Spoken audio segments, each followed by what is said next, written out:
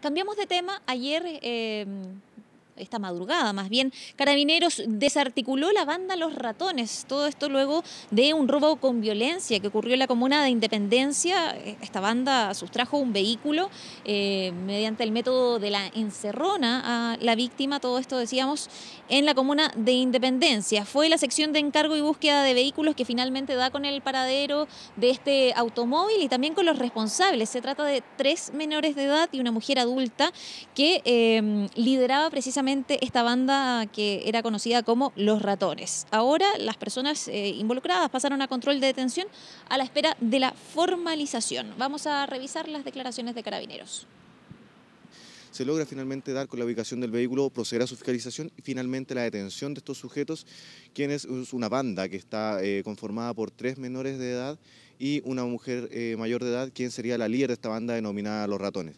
Estos sujetos mantienen amplio prontuario policial relacionado con delitos que afectan al parque vehicular y se encontraban ya previamente siendo investigados por estos mismos delitos por parte de este departamento especializado Bien, Carabineros no descarta que estos vehículos fueran usados para la comisión de otros delitos. Eh, esta banda se dedicaba a extraer las patentes y tampoco se descarta que eh, se dedicaran también a la reventa de estos automóviles.